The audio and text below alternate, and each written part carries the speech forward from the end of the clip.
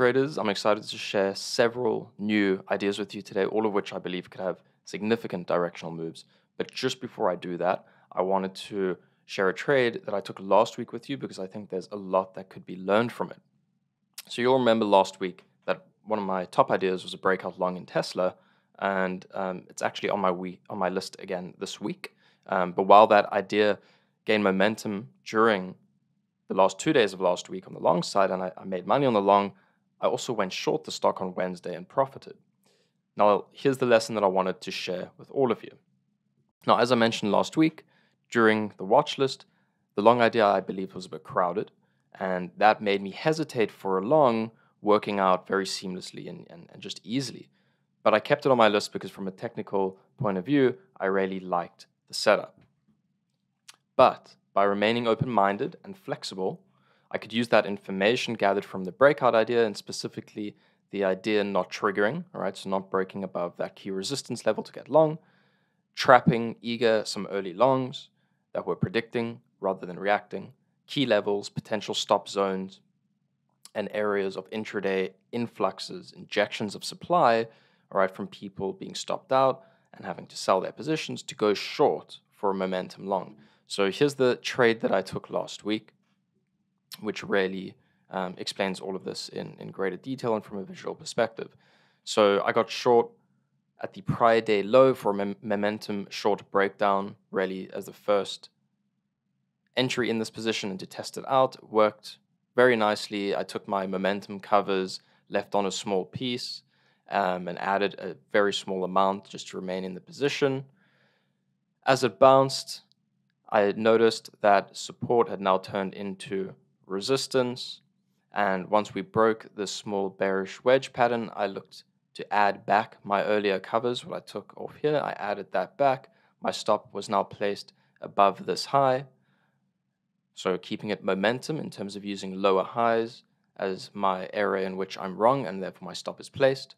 The next area of interest was the 232 key level of support on the daily chart. We traded seamlessly down into that level. I never took any covers because I was looking to add if we broke down, which we did at 232. So I added twice. I got to full size. And then from there onwards, I just had um, systematically, I was covering on weakness. So basically, I had small bids incrementally. Um, every certain amount in which the stock traded low, I was covering a very small portion systematically of my position and I got completely flat once I noticed a change in character. What was that change? That was this trend break right here, and that was on this candle around 11:30. You can see that we broke this extreme down tr- downtrend. Uh, we had a bit of a volume spike and a candle which engulfed the last five or six minutes or so. Um, and so for me, that was the reason to exit my trade, in which I took my size off there after systematically covering there. Um, so this is a really good example of, of a momentum trade. Originally, I wanted to go long. I had a plan to go long, however, it didn't trigger, and therefore I didn't go long. All right.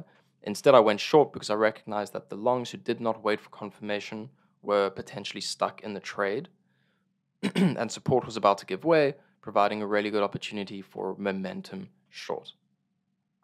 Now, the following day, I actually did a similar trade in Tesla, but that was to the long side. Um, and Tesla now, I believe, is actually set up better than it was last week on the long side for a swing long. So let's move straight on to some fresh ideas for the week. And as I just mentioned, Tesla is my main idea in terms of my swing ideas for the week. Because after a very quick move lower, below support, below 232s, and running some stops, you know, shaking the tree, as they say, it's now reclaimed all of its key moving averages and it's held above the consolidation's resistance above this 247-ish area and we closed above 250 and above this downtrend resistance. So everything looks pretty good in tesla for momentum to continue to the upside. As they say from a failed move lower comes a fast move higher potentially. So let's see. So i'm looking for dips higher lows and steady support over 250 for a long entry and i'll place my stop below friday's low. Um, and I'm targeting move towards 260 first target to take off a little bit of size to lock in some profits, and then I'll discretionarily leave some on for third and a bit of a loftier target around 270. I'm going to trail my stop using the hourly time frame and higher lows, as you know, that is how I like to usually do it. And apart from Tesla, some other backburner ideas. These ideas that I've set alerts for for the upcoming week. Um, and if price triggers, if volume triggers, um, then I'll have my eyes uh, more actively watching the stock and price action.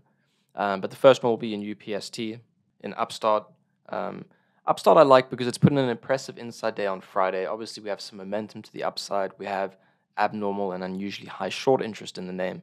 Um, so it is setting up for potential continued momentum and a breakout higher. Um, if we can get above Friday's high, um, we could get potential continuation to 50. So I have some alerts set for the upper part of the range of Friday's move and Friday's high. And if that goes off and volume is sustained, um, I'll be looking for some momentum longs and a potentially a swing long towards 50. Quad C, CCCC, an exceptional mover on volume, exceptional, exceptional price surge last week on what could be potentially fundamentally changing news. It remains to be seen in the long run. Um, but in the short term, it definitely appears to be on the backside for now. And therefore, I have some alerts set for pops into 550, up into 6, and to see if this can put in intraday a failed move higher um, to be able to get short and target a move back down towards Friday's low and into the mid fours.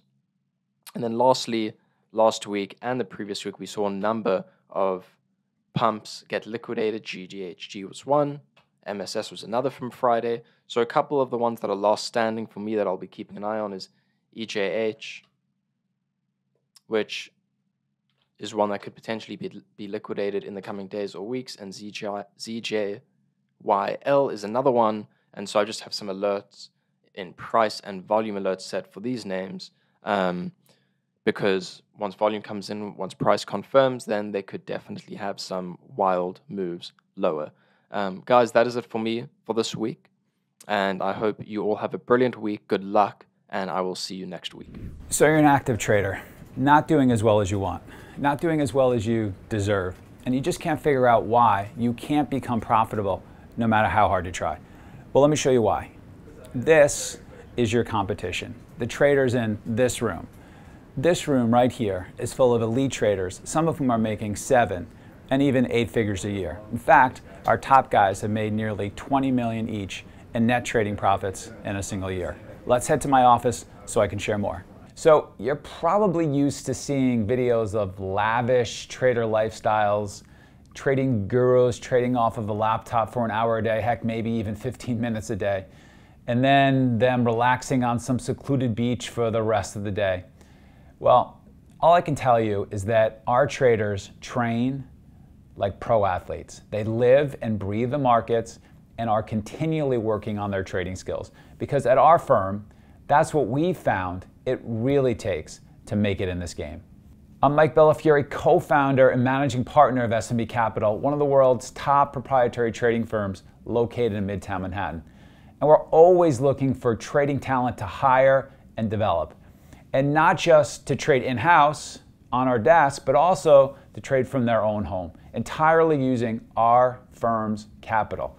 And we have numerous traders doing just that, allowing them to make upwards of seven figures trading the firm's capital without risking their own money. But to even get a shot at something like that, you need to have the right training. That's why we're doing a new free online presentation in which we share how you can get an interview with SMB to become an in house or remote trader, trading firm capital without risking yours, and gaining access to all of our firm's coaching and resources. And the best part, you don't have to be a profitable trader yet. In fact, we prefer to mold profitable traders with our methods and our techniques.